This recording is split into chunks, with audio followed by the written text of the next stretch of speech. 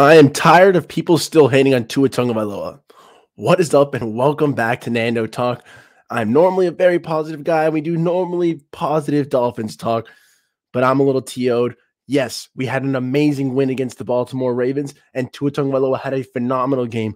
469 yards, six touchdowns, a comeback win by all means, by all purposes, this kid was phenomenal, absolutely bonkers, and he is still getting hated. He's still getting disrespected, and I'm absolutely tired of it. I'm sick of hearing it. I'm sick of seeing that Tua is the only quarterback that I've ever seen get hated on for having good weapons, who can have a six touchdown game and still get criticized, who makes play after play. And all I hear is he threw it to the open player. Anybody can do that. No, not everybody can do that because not a lot of quarterbacks have thrown for 450 plus yards and six TDs. In fact, who is the only young QB to have done it? How many six touchdown games does Justin Herbert have?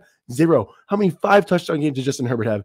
Zero. And we slob around this kid and we applaud Justin Herbert for every single thing he does. And rightfully so, because he's a talented arm, talented quarterback, big boy with a lot of potential. But when it comes to winning, Justin Herbert has a 16 and 18 record versus to a 17 and 8 record. And I get it, wins aren't a QB stat, and wins aren't a QB stat, but wins mean winning football. At the end of the day, a duh, wins are a good thing. How can you disagree? How can you even try to discredit that? The fact that Tua has a winning record and still gets criticized is crazy. But okay, you want to say that Tua can't have a big day. Tua just had a massive day where he just balled out and beat out Lamar Jackson, who had a phenomenal day in his own right with 350 plus passing yards, 100 rushing yards, and Tua was still the best quarterback on that field. This man just gets unfair hate after unfair hate. He led four touchdowns in the fourth quarter to win the game. Four touchdowns to lead a comeback, and he's still getting nitpicked and criticized, saying that he did what he was expected to do and that anybody could have done it because they have Jalen Waddle and Tyreek Hill. Newsflash quarterbacks are supposed to look for the open player and play it to them. Yes, Tyreek Hill and Jalen Waddle made Tua's life easier, but Tua is still the guy making those plays, throwing it to where only they can get it, dotting it up to Mike is taking a high pass where only he can snag it. And you'll still have haters like Colin Cowherd say that that's an over, overthrow. How ridiculous can you get? How much worse is it supposed to get? This is a man who threw a beautiful dime pass, and you'll still have clowns like Colin Hayden on it. What else can Tua do? Do you want 700 yards, 10 touchdowns? Come on. Like this is a guy who you say has no no pocket presence, no movability, and then he hits a beautiful spin move to roll out and dot it up to River Cracraft for a touchdown.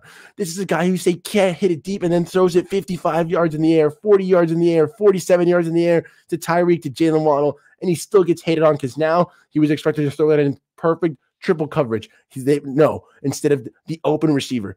Tua is a smart guy. He's going to go for the open guy. You want to throw in the tight coverage? Tua will do it too because Tua just wins. He finds a way. He doesn't make excuses. We find reasons why he's being held back. But now the reasons are gone. The weapons are there. The system is there. The coach is trusting him. And most importantly, Tua is trusting in himself.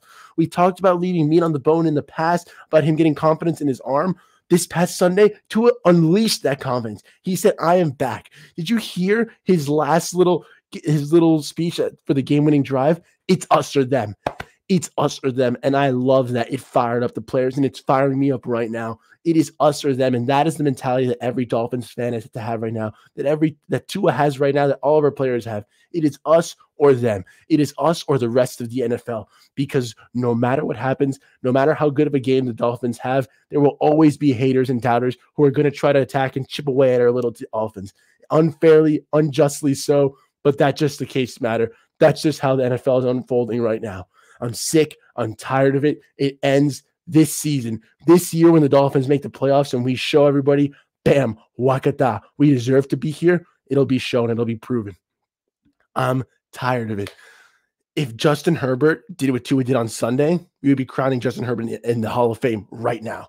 Emmanuel Acho, you got it spot on the head, bro. If Justin Herbert outscored the other team 28 to 3 in the fourth quarter, two for four touchdowns, do play after play, instead of a pick six like he did it to the Chiefs, if Justin Herbert was balling in the fourth quarter, throwing touchdown after touchdown instead of pick six after pick six, you could convince me that there's no hope for Tua, that Justin Herbert is this god that everybody paints him out to be. But the fact of the matter is, Justin Herbert has those pretty stats, and then he has those back-breaking, bone-crushing interceptions, those blunders that just make you wonder how can this 16 and 18 bum be QB1 of that class. He's not a winner. He doesn't have the it factor that just that Joe Burrow does. He doesn't even have the winning poise that Tua does. Because my guy Tua, say what you want about his limitations, he knows them, understands them, and still finds ways to succeed and win. Because that's what winners do. That's what champions do.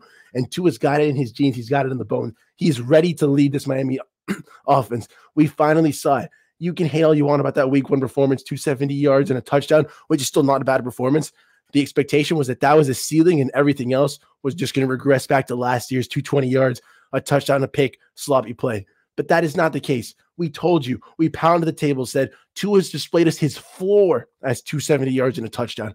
His floor, if he's being average and not the best, being more conservative. When he's aggressive, when he's dialed up, when he needs to, we have now seen that Tua has the capability of, of going over 400 yards, of throwing six touchdowns, of doing something that few others have shown they can do and still win the game, that he can find it in himself to not quit and to rally up his other men all those little narratives that Tua can't go over 400 yards, Tua can't throw for more than five TDs, that Tua can't take over and he can't beat another quarterback who's playing at the top level, that he's not going to win an offensive shootout, that he's not going to maximize his offense, that in the fourth quarter he's going to crumble, that he can't lead his team to victory. All those narratives after narratives after narratives were just shot away, shot down, and stripped apart as Tua grabbed it by the nuts and just commanded respect and demanded that his destiny be changed because that's what we're getting to see from Tua Tagovailoa a new man, a new player with a new set of focus and goals. We're talking about a team that was projected by some fools to go one and four to start, to go, which means we'd only beat the Jets probably, to start 0 and 4, to lose every single game. That's embarrassing. That's insanity. I'm glad there's people who have the receipts. I'm not an I told you so person, but I did know that we were going to go at least three and two after week five, meaning two and two entering week five versus the Jets and beating them to put us back up over 500. And what are we?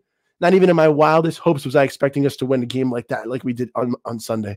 We're 2 and 0, and all we have to do is just beat the Jets to get to 3 and 2.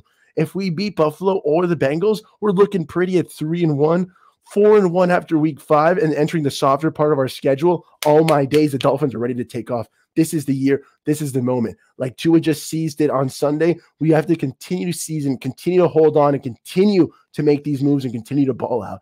The Dolphins are right there right on the cusp. And this, as important as that Baltimore game was, as alt as a as big of a moment as it was, as franchise altering as that win and comeback win was to allow us to be masters of our own destiny, have faith and confidence in our team.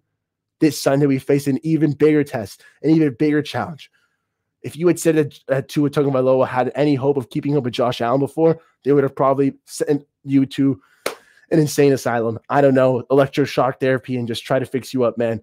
But now, now there's a shining glimmer of hope in my eye that these two gentlemen right here, Tyreek Hill and Jalen Waddle, can continue to ball out. What Kaiir Elam is going to stop him? Ain't no way. My guy Tua is going to dot him up, continue to find the open guys. Yes, the Bills have a crazy secondary. Micah Hyde a little banged up, but in general, still a great safety group. You know, and Marcus Williams for the Ravens had a great game. Their corners were banged up though, and we saw what happens. Eventually, the floodgates will open. Eventually, we'll fire on cylinders. I want it to happen throughout the game, as in I want the Bills points to be spread out, not come all very early like the, the Ravens did. And I want the Dolphins to also score spread out, not all at the end, just like we did against the, uh, Baltimore. I need the Dolphins to have a complete game, not only have an amazing offense like we did week two, but bring back that strong Dolphins defense we saw week one and have a strong special team showing. A complete game from all three facets of our team, and this Dolphins team is going to go wild. I've been saying 35 31 for the Dolphins.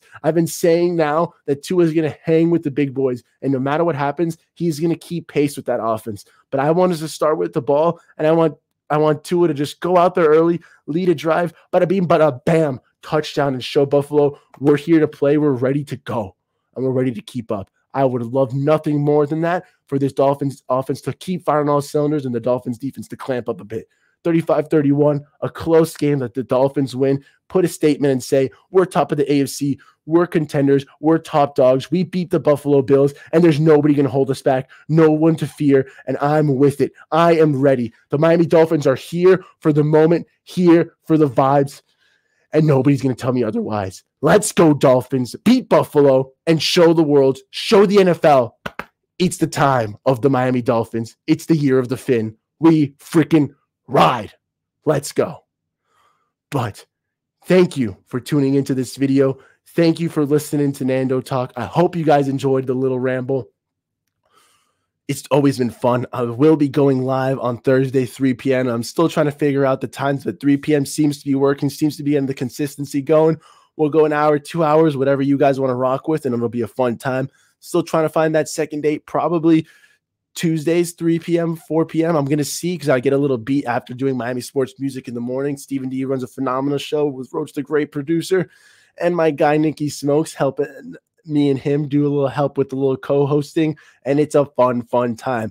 So we'll still figure out the secondary times for my live streams, but be sure to catch me Thursdays, Thursdays, 3 p.m. A fun time live on the Nando Talk for the Good Dolphins vibes.